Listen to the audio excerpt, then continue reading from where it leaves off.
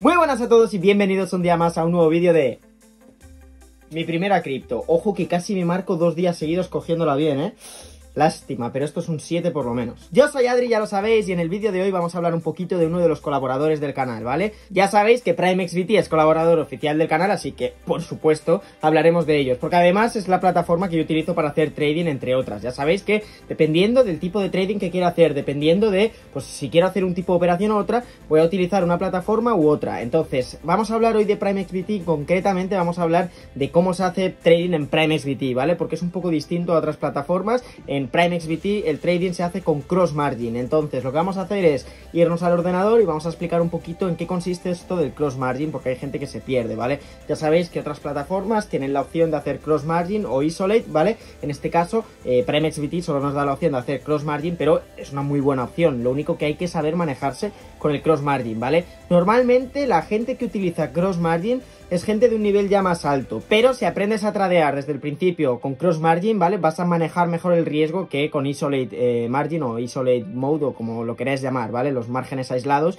y el margen cruzado, que sería la traducción en castellano. Así que la cosa es esa. Es un poco complicado al principio, pero luego cuando alcanzas cierto nivel es muy bueno a la hora de gestionar el riesgo. Yo no soy ningún ejemplo de gestión de riesgo porque me lo paso por el forro y no debería de ser así, pero eh, yo soy un colgado, ¿vale? Entonces, eh, por eso he dicho siempre que no soy trader como tal, se me da muy bien, analizo, saco buenos trades y saco pasta, soy un trader rentable, pero soy un trader rentable más por mi psicología y por mi mentalidad que por lo bueno que pueda ser o cómo maneje el riesgo, ¿vale? Muy bien chicos, pues dicho eso, lo que vamos a hacer es irnos al ordenador y os explico que no, que ya sé que estabais esperando el unboxing. Bueno, algunos no, y otros sí. Hay gente que se ha puesto muy nerviosa con el tema del unboxing, ¿vale? Así que, tranquilidad, vamos a hacer el unboxing porque los amigos de PrimeXVT me han mandado una caja pues, con unas cositas, pues, felicitarme el año. Así que vamos a echarle un vistazo y hago un poco el payaso como siempre con la cajita. Pues vamos a ello, vamos con la review. Espectacular, ¿eh? Me van a fichar para hacer estas cosas porque lo hago muy bien. Fijaros, la caja, espectacular, eh, de cartón, de cartón del Himalaya es un cartón especial, ¿vale? Eh, lo han traído unos monjes tibetanos, así que pues, ya, ya, la caja promete, ¿vale? Voy a abrir la caja, voy a ver qué me han mandado. Estaría gracioso que me hayan mandado un bañador para hacerme la broma que, comenté el otro día. Pero, oh, papá, pues todo lo contrario, todo lo contrario. Vamos a ello. Y hay muchas cosas, ¿eh? Hay unas cuantas cosas. Esto lo voy a dejar al suelo de momento. Ahí estamos. Sudadera, señores, sudadera, ¿vale? Eh, bueno, tengo pedida otra sudadera, ¿me llegará? No lo sé. Hubo unos que me mandaron una bufanda y dije, a ver, la bufanda bien, pero soy más de sudaderas. Pues Prime XVT quizás tenía la oreja puesta, quizás. Bueno, gente, pues aquí veis la sudadera, eh, calidad high, premium quality, eh, 4K, espectacular, ¿vale? O sea, eh, material, vamos, de la NASA, de la NASA. No, ahora en serio. Una capucha así gordita. Me gustan a mí así las capuchas mullidas y, muy calentitas. Así que muchas gracias porque soy de sudaderas. Eh, me pego mucho tiempo en casa eh, a modo indigente, ¿vale? Entonces, pues voy con sudaderas hasta que huelen muy mal y luego ya las echo a lavar. Luego, chicos, por aquí veo que me han mandado una gorra eh, y una libreta. Vamos a ver. ¿Esto qué es? A ver, esto no sé qué es. Una tarjeta, pero ya lo miraré luego. Eh, vale, y un blog de notas. Un blog de notas para apuntar aquí eh, quién me cae mal en el canal, eh, quién me ha insultado, quién se ha metido conmigo. Y ya está. Aquí voy a apuntar a todos los putos haters y luego voy a ir a vuestras casas uno por uno y os voy a rebanar el cuello. Pues muy bien, chicos, y una gorrita. Sinceramente, no soy muy de gorras. No soy de gorras planas. Ya sabéis que sí que llevo gorra de vez en cuando. Eh, pero cuando son gorras planas, pues no soy muy de gorras. Pero eh, me monto un freestyle aquí ahora mismo que lo flipas. Bueno, pues ya he hecho el idiota un rato. Eh, muchas gracias a Prime XBT, por supuesto, por enviarme los regalos. A mí todo lo que sean regalos me gusta, ¿vale? Digo, no, es que no soy muy de gorra, no os preocupéis, ya le daré uso a la gorra. Algún día que vaya a una batalla de gallos, pues me pongo la gorra, ya está. ya la he usado. Pero bueno, chicos, como no estáis aquí para verme hacer el idiota, que a veces sí, pero eh, lo importante es que entendamos cómo funciona esto del cross margin, ¿vale? Para aclararnos un poco con Prime SBT, que ya sé que a algunos se les hace complicados y otros, pues cuando ya os acostumbráis, dices, ostras, esto va de maravilla, ¿no? Entonces, os voy a explicar exactamente cuál es la ciencia del cross margin, ¿vale? Eh, cómo se calcula todo y demás, cómo pones las órdenes, lo vais a ver, ¿vale? Lo vais a ver, así que sin más dilatación, nos vamos al ordenador. Muy bien chicos, pues aquí estamos en Prime XBT. Recordad, si os venís aquí a cuenta y os vais a código promocional, introduciendo el código promocional MPC50, vais a tener un 50% de bono en vuestros registros, ¿vale? Así que eh, si metéis 100 dólares, pues tendréis 150 para operar. Vamos al lío, vamos con lo que nos interesa, que es ¿Cómo funciona esto del apalancamiento en Prime XBT? ¿Qué es el cross margin? ¿Vale? ¿Qué es lo que os quiero explicar realmente? ¿En qué consiste esto del cross margin? Pues bueno, em, básicamente lo del cross margin, la diferencia entre el cross margin y el isolate margin es realmente de dónde estás tomando el margen. ¿A qué me refiero con el margen? Cuando tú haces un trade en isolate, ¿vale? Tú eliges cuánto estás metiendo en el trade, es decir, estás eligiendo qué cantidad de margen va a haber en el trade. Por ejemplo, 100 dólares. Eh, tú tienes una cuenta con 1000 dólares y eliges hacer un isolate trade de 100 dólares. Por tanto, cuando haces ese trade, el margen total son 100 dólares. Si estás apalancado por 100 y baja Bitcoin, pues imagínate, de 10.000 dólares baja a 9.900 dólares, ha bajado un 1%. Has bajado esos 100 dólares, un 1% de, de 10.000 dólares son 100 dólares, por tanto has perdido tu margen por completo y quedas liquidado. Eso es el margen y ese es el criterio por el que quedas liquidado. Si hubieses tenido un margen de 200 dólares, pues hubieses sido liquidado en 9.800 en vez de 9.100, ¿vale? Por tanto, lo que hay que tener en cuenta es que eh, aquí en Prime XBT siempre se aplica un apalancamiento por 100. Entonces, aquí donde vemos el balance, eh, vemos que tenemos un Bitcoin de balance, eh, son 30.000 dólares. Pero realmente la capacidad de inversión que tenemos, el margen disponible que tenemos, es una inversión de 3 millones de dólares, ¿vale? Porque tenemos un apalancamiento por 100 siempre. Entonces, vamos a poder, vamos a poder hacer operaciones por 3 millones de dólares. El problema es que si no lo hacemos bien, obviamente no podemos eh, meter 3 millones de dólares en Ethereum, porque si Ethereum bajase un 1%, habríamos perdido estos 30.000 dólares por completo, ¿vale? Entonces, eh, la clave es cuando vamos a hacer un trade, por ejemplo, vamos a coger un trade de Ethereum, ¿vale? Ahora, Ethereum vale 1.256 dólares. Le damos a trade y aquí nos dice qué impacto va a tener sobre el margen la cantidad que pongamos. Y diréis, ¿cómo es esto de la cantidad? Aquí pone 400, ¿a qué se refiere? Pues son 400 Ethereums, ¿vale? Por tanto, 400 Ethereums pues tienen un impacto en el margen muy grande, tiene un impacto en el margen más grande que nuestro propio margen, así que eh, no tiene sentido, ¿vale? Fijaros, margen disponible, un Bitcoin, y el impacto en el margen es de 1,38 Bitcoins, por tanto, no podríamos comprar 400 Ethereum. Sin embargo, si nos venimos y lo cambiamos, ¿vale? Y, ponemos pues una cantidad de 5 Ethereums, ¿vale? Fijaros, el impacto en el margen es mucho menor. Yo actualmente tengo abierta una posición de un Ethereum que me dejé aquí abierta y que compré Ethereum en 398 dólares, pero compré un Ethereum y ahora mismo pues tiene un valor de 1259 dólares y aquí me pone la ganancia no realizada porque todavía no lo he cerrado, entonces le iría ganando 859 dólares. Por tanto, si quiero comprar 5 Ethereums, cuando compré un Ethereum, fijaros el impacto que tiene en el margen, el impacto es de un 0,04%, es poquísimo, ¿vale? Porque realmente un Ethereum que valía 398 dólares, comparado con la capacidad de inversión de 3 millones de dólares que tengo, es absolutamente nada, es muy poco. Entonces, eh, por eso lo del margen.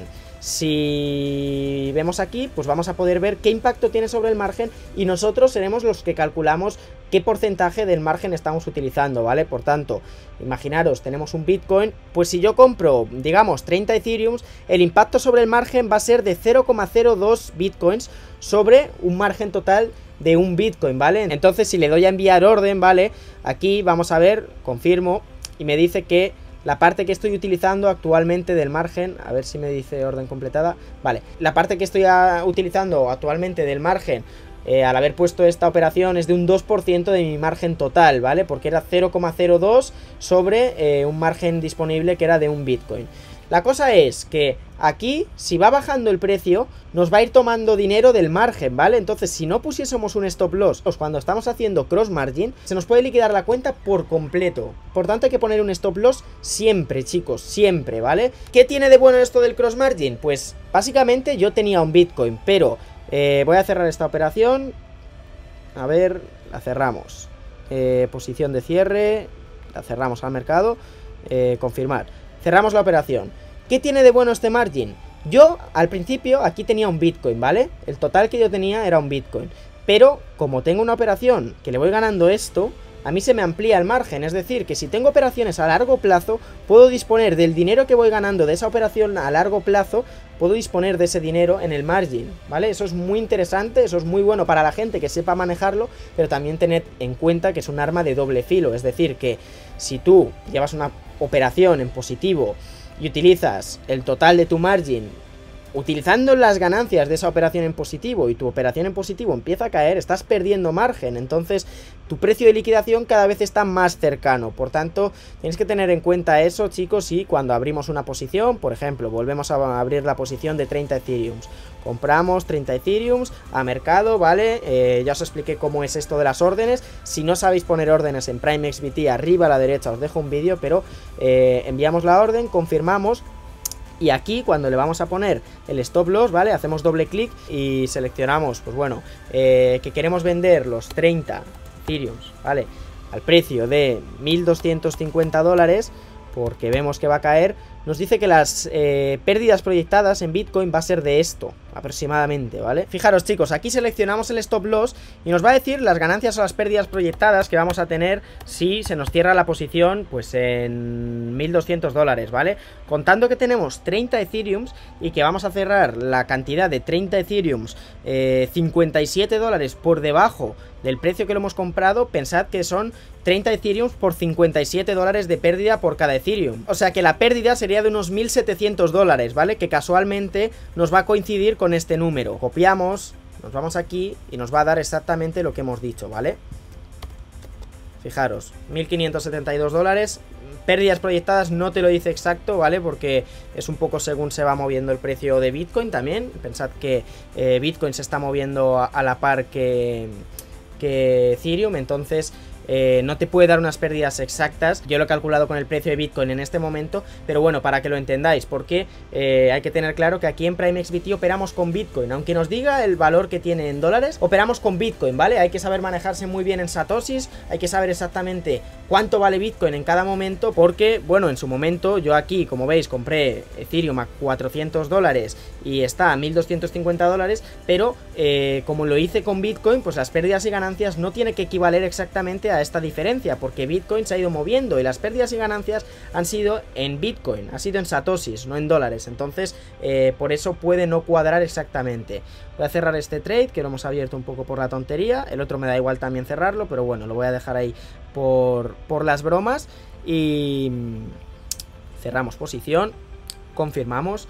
Y bueno, eh, poco que comentar hoy del mercado, está complicado, quizás mañana saque un vídeo especial pues hablando un poquito de cómo lo veo, ¿vale? Creo que os puede ser interesante, no lo meto en este vídeo porque este vídeo era enfocado a explicar cómo es esto del cross margin, pero creo que ya lo habéis entendido, ya vais a entender que eh, pues tenemos una capacidad de inversión con 30.000 dólares, una capacidad real de 3 millones de dólares, pero no tiene sentido que compremos Ethereum por valor de 3 millones de dólares, porque en caso de que Ethereum baje un 1%, perderíamos absolutamente todo. Hay que ser bueno aquí con las matemáticas, no es fácil, yo lo sé chicos, pero a la hora de manejar qué cantidad de margen estáis utilizando en cada operación al final es muy útil.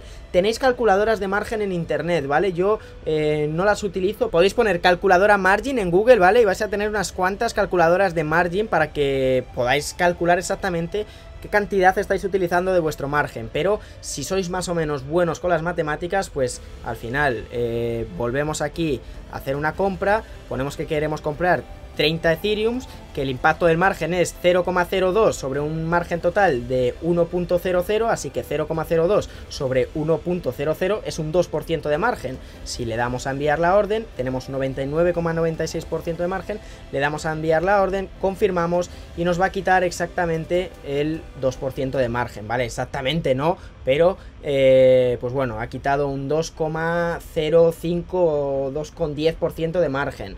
¿Vale? Pero si sois buenos con las matemáticas y lo calculáis rápido, pues sin problema. Si no, eh, tendréis que utilizar estas calculadoras de margin. Son un poco coñazo, chicos, pero como os digo, mmm, los buenos traders, muy buenos traders, utilizan margin porque llevan operaciones con beneficio, no quieren cerrar esas operaciones con beneficio, pero además tienen la posibilidad de utilizar el beneficio de esas operaciones que no han cerrado para generar mayores beneficios, lo cual, eh, como os digo, imaginaros, en manos de una persona buena es un arma eh, muy, muy potente, en manos de una persona que no sabe en absoluto lo que está haciendo, pues eh, se puede pegar un tiro en un pie. Entonces, ¿qué es lo que tiene que hacer una persona que no es muy buena, pero que está operando con cross margin? Que no pasa nada, no hay que ser un dios para operar con cross margin.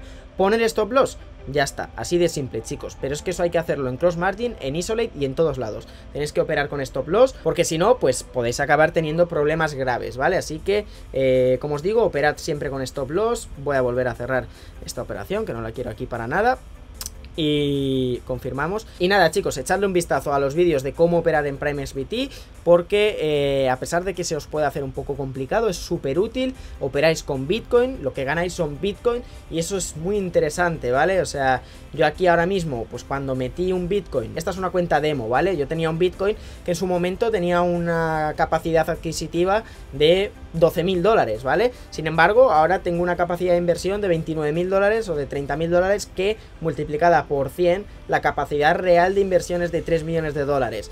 Fijaros, mm, sin tocar la cuenta, el dinero también ha subido. ¿Por qué? Porque ha subido Bitcoin. Así que si nos gusta estar expuestos a Bitcoin, si pensamos ya más en Bitcoin que en dólares, nos interesa mucho utilizar Prime XBT. Muy bien chicos, pues ahí habéis visto cómo funciona el cross margin, pero eh, bueno, ahora lo comentamos.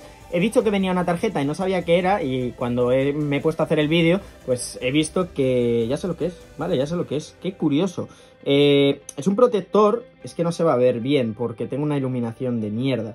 Pero es un protector para la pantalla del ordenador, para la cámara, eh, pues como para abrir y cerrar la cámara. En vez de tener eh, un posit o una tirita o algo muy cutre, pues es algo que ya está hecho a posta y se mueve así. Fijaros, es que no sé si se va a ver bien, pero ¿veis? Se mueve. Espectacular, ¿eh? Espectacular. Privacidad. Privacidad absoluta. Porque si no, ya sabéis que esto de las criptos es privacidad. No vaya a ser que me, me grabe la cámara haciendo cosas. Y, y luego la suban. Sería una pena.